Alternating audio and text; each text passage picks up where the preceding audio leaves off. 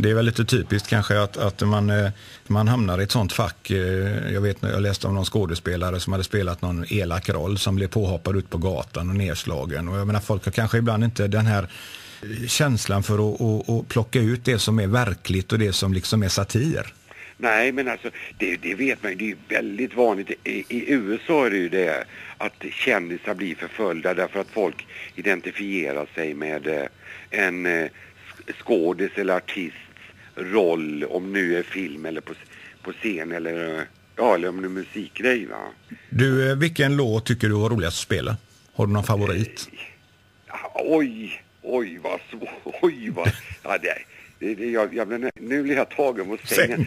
Jag har aldrig, jag aldrig tänkt på det. Jo, alltså det värsta svänget och jag undrar om det finns någon svensk singel som har fått till blandningen av rock och rockabilly med sväng bättre än vad vi gör på Volvo. För det in, den är inspelad i Studio Ronka, i, i, den första Studio Ronka, i ladan utanför Åstorp. Okej. Okay.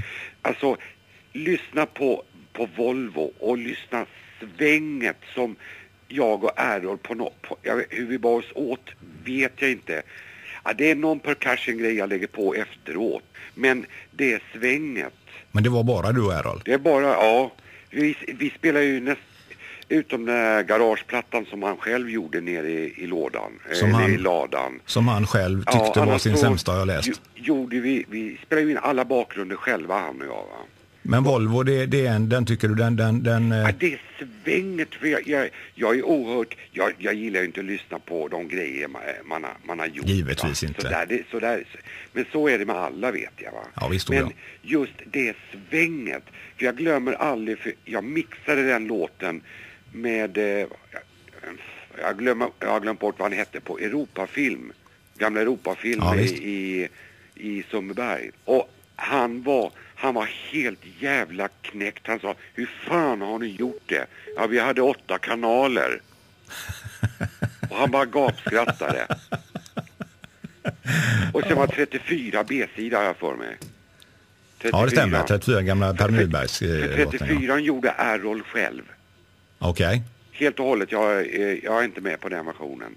Utan, för vi behövde bara en, en B-sida som, som kunde duga efter garagetejper och han var deppig och allting va.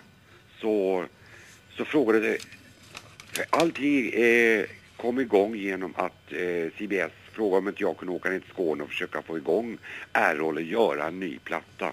Och detta var 1900?